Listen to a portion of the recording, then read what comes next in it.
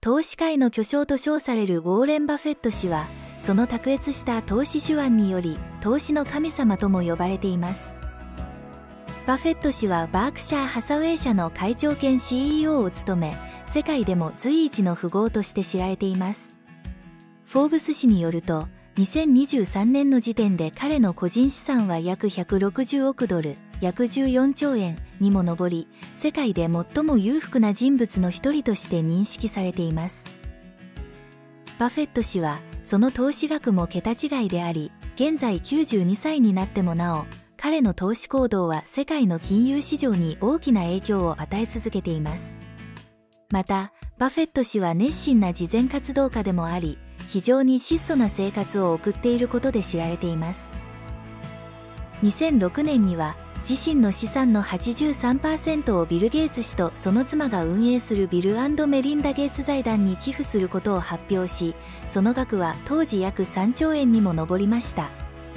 この莫大な寄付による社会貢献は世界中から賞賛を集めました。2023年4月バフェット氏が日本を訪問した際に行われた日本経済新聞とのインタビューで日本が米国内で最大の投資先であると語りました。彼は日本の5大商社株の保有比率を7.4%まで高め米国株以外では最大の投資先にしたことを明らかにしました。バフェット氏はすでに2020年からそれぞれ5%の株式を保有していたものの今後さらに9.9%まで投資を進める計画を述べました。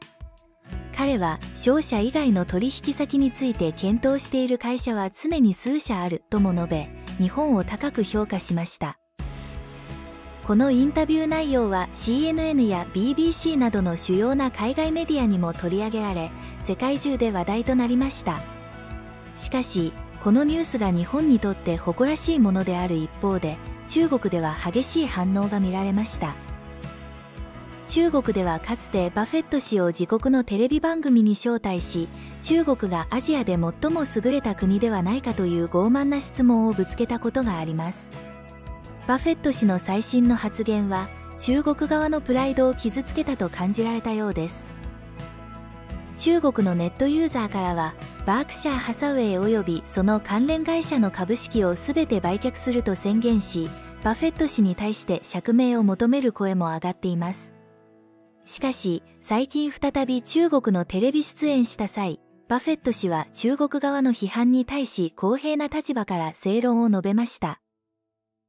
インタビュアーが中国がアジアで最高の国であることに疑いがないと前置きした上でなぜ中国ではなく日本の可能性に言及し多くの中国人を怒らせたのかという質問に対してバフェット氏は全ての中国人が中国が全ての分野で明らかに遅れていることを認識すべきだと即答しました。さらに私は企業のリーダーであり可能性のある企業や事業に投資するのは当然です。私は自分の感覚が間違っていると思ったことは一度もありません。私の感覚により私は中国よりも日本を選択しましたと断言しました。インタビュアーが国が過去に比べて発展することは当然だと反論した際もバフェット氏は動じることなく自己中心的な外交で成長した中国と強調しました。ウォーレン・バフェット氏のこのような公正かつ率直な発言は金融市場だけでなく政治的な意見交換においても重要な意味を持っています。彼が示す投資哲学や価値観は多くの人々に影響を与えており今後も世界経済や国際関係における彼の動向から目が離せません。ウォーレン・バフェット氏は投資の神様として知られその投資判断は世界中の投資家に影響を与えています。バフェット氏が2023年4月に来日し日本企業への高い評価を表明したことは長らく成長が停滞していると言われてきた日本経済にとって大きな注目点となりました。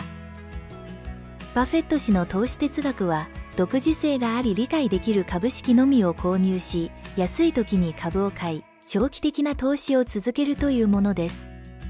この哲学に基づき彼は日本の5大商社を高く評価しそれらの企業が約100年いや永遠に生き延びるとまで言い切りました。これらの商社が持つ特殊なネットワーク構築能力や財務諸表の信頼性がバフェット氏の評価につながったと考えられます。一方で中国と日本の外交政策に関する彼の見解は中国側から一定の反発を受けています。彼は中国が日本企業の製品に対する市場アクセスを制限しながら自国製品を日本に大量輸出しようとする姿勢を一方的な外交政策だと批判しました。このような中国の姿勢は世界中で類を見ないとしながらも彼はその考え方を変えない限り中国への投資は行わないと述べています。バフェット氏のこれらのコメントは中国国内で多くのネットユーザーから批判されたものの彼は自身の投資判断を曲げることはありませんでした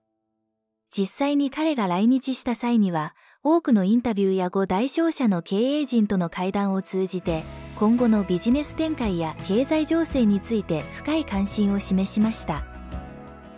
投資先として日本を選んだ理由についてバフェット氏は、今後10年20年と続いていくような優れたビジネスや人々を求めており私の理解を超えるものでなければ全ての日本の大企業についてビジネスや人々を評価し続けていますと述べています。これは彼がどれほど日本企業の潜在力を信じているかを示しています。バフェット氏による日本企業への信頼は日本経済全体へのポジティブな影響を及ぼす可能性があります。